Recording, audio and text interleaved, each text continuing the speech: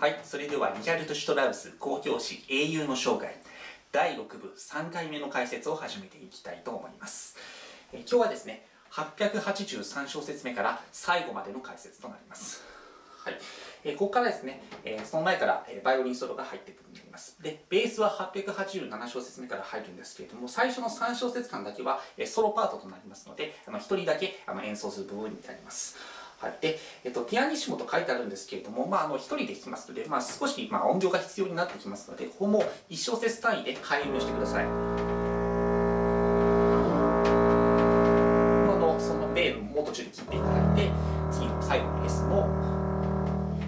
ダウンで終わるようにしていただきたいと思います。はい、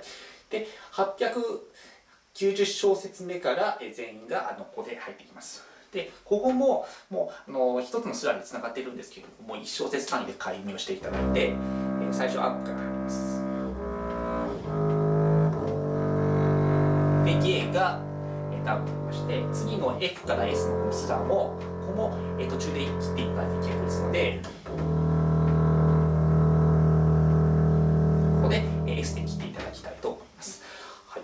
次の894小節目。でここはここもあの途中で、えー、スラー切るんですけれども。でここまでまず、え1小節を弾いていただいて次のクレッシェンドが書いてある小節なんですけれども。この最初の GF をダウンで弾いて最後の S だけをここでもう一回切ります。でダウンアップと弾いていただいて。の米もここもまだクレッシェンドがついていますのでここも、えー、不点2分音符の途中で切っていただいて開運して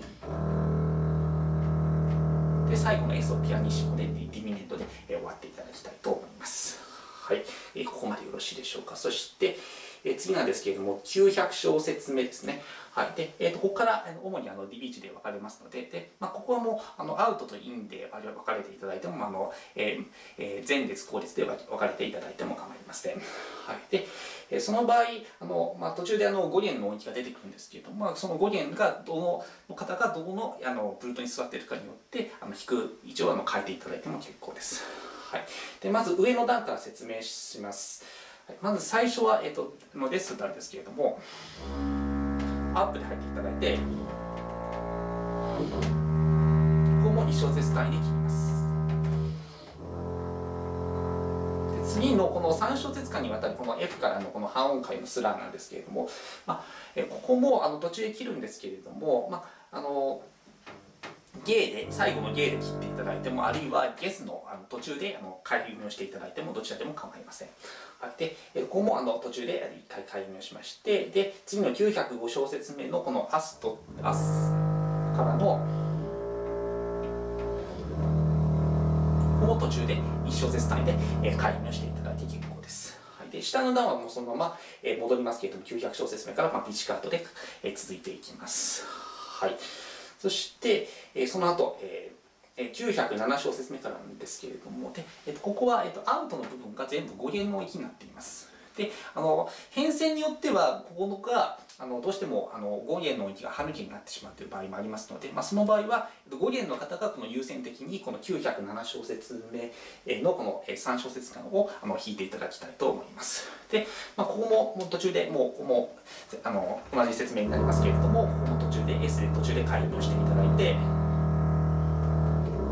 で最後のデストをあの指先で、えーと終わるようにしてください。はい、でそしてその場合で、えー、と引かなかった方かも下の代わりにそのピッチカートの、え部分を引いていただきたいと思います。それが、えー909小節目からですね。はい、でそして、えー、と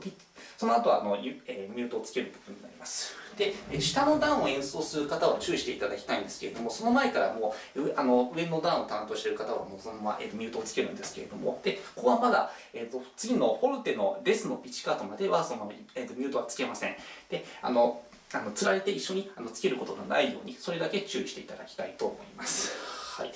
そして、えっと、もう最後になりますけれども、えっと、913小節目でここは、まあ、あの全部オクターブの、えっと、ユニゾンのあのえー、DBG になっていますのでであのもしアウトが5弦インが4弦というあの、えー編成の場合であれば、まあ、そこのあの順次この、えー弾く場所をもう入れ替わっていただいて極力あの、えー下の最後の S の語源があの歯抜けにならないようにそれだけ注意していただきたいと思います。はいで最後終わりましたらあとはもうずっと,、えーと、弦楽器はもう一切演奏せずにあと管楽器の、えーと、コラールで、えー、全て終わるという形となります。はい、えー、全て、え、ここまで第6部は以上となります。はい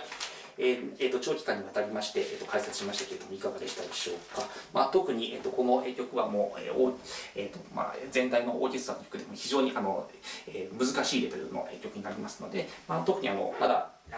のできてないというか、まあ、なかなか弾きにくいという部分を中心に練習していただきたいと思います。はい、